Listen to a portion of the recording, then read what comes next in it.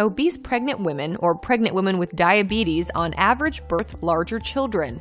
Researchers have now discovered another medical anomaly. Women with diabetes or who are obese experience rapid fetal growth in the first few months of pregnancy. That means that their fetuses or babies become abnormally large within the first six months of pregnancy. This is causing doctors to question whether or not pregnant women should be tested for pregnant related diabetes earlier than six months.